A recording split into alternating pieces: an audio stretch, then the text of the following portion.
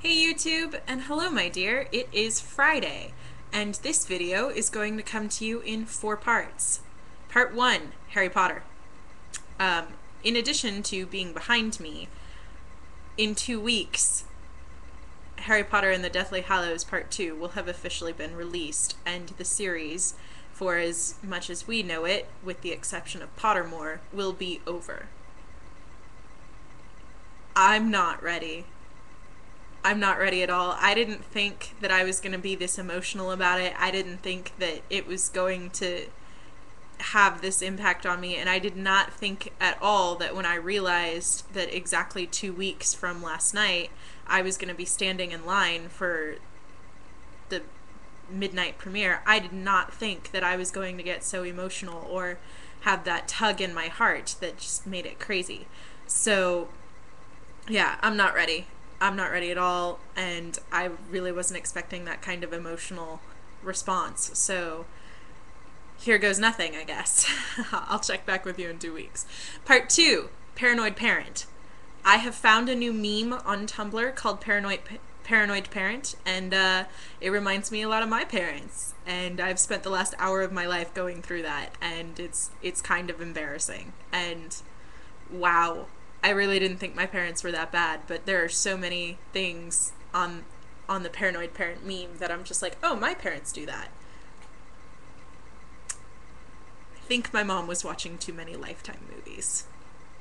Actually, she was. I outlawed that when I was like 16. I told her she wasn't allowed to watch Lifetime anymore. It was fun. All right, part 3. Sleeping. Um so, twice this week, I have fallen asleep on you. And the reason that I'm so apologetic and so, like, crazy about it is um, I don't remember falling asleep. I wake up and I have a bunch of unanswered messages from you, and I have no recollection of falling asleep at all. So that's that's why I'm so freaked out about it and why I'm just like, "Oh my goodness, I really can't be letting this happen because this is this is really creepy." So, yeah, that's that's why I'm so apologetic cuz I don't even remember going to sleep or falling asleep or whatever. And I'm going to blame it on the fact that, you know, I was re- really sleep deprived last week, but uh hopefully that just stops happening cuz it's actually really kind of scary waking up and having no idea what happened in the last half hour when you were relatively alert before that. So, yeah, hopefully that stops because I'm definitely not a fan. And part four. In your video yesterday, you were talking about how Google is like the dark side because they have so many cookies. And I'm not gonna lie, I'm gonna have to disagree with you on the whole Google is nice and not and doesn't have ulterior motives.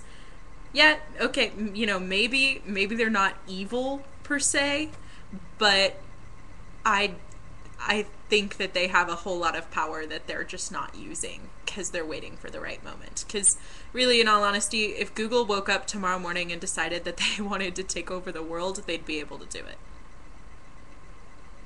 in like 20 minutes that really I, I genuinely think that they only need five but just in case they haven't had their coffee or something i'll give them 20 minutes. But really like anyone who's ever accessed the internet will tell you google could totally take over the world if they wanted to. So yeah the those are parts one through four for this video.